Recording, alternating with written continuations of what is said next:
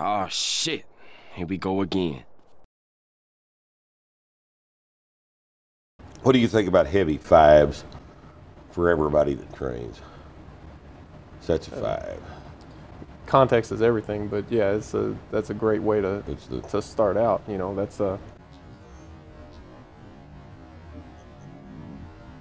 I mean, it's not too much on the on the end of Right. uh, intensity. It's not too much on the end of uh, uh, Reps. low intensity, Right. uh, high volume work. So Right. yeah, so you do a lot of fives in your training, early in the cycles, yeah, right? yeah, that's the further away from you that you get from your sets of five base, yeah,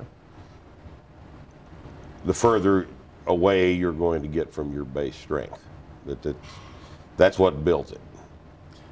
would you get the same the same effect from doing uh, an equivalent amount of volume with a heavier weight fewer reps so basically more sets All of our programs pretty much are designed from the standpoint of building on sets of five, and if you want to taper, you taper down from there. sure Like I don't know, I don't know anybody that ever got just real brutally strong doing sets of twenty.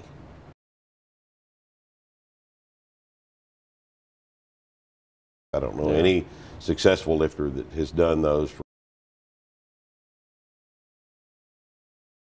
the amplitude wiggles a little bit, but the yeah primary wavelength is about five. Trap bar deadlift is a sales gimmick. It's just created to sell equipment.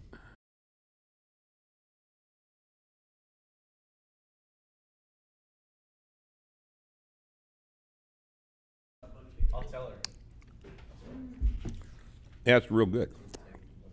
Why are we not teaching you the squat clean today?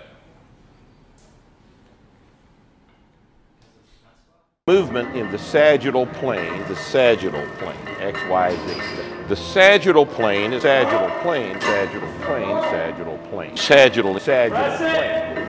It is a piece of red oak butcher block uh, with our logo, as you can see, etched into the wood.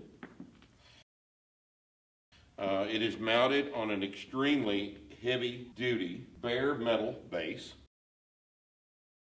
This thing is 17 inches at the top of the wood by 10, not 12, by 10 wide and 48 inches long. Now, maintenance of this of this beautiful piece of furniture is just exactly like what you would expect of a beautiful piece of furniture. I use Scott's liquid gold on it a couple of times a year.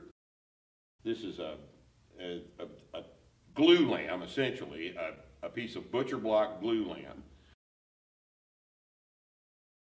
I've lost my mind.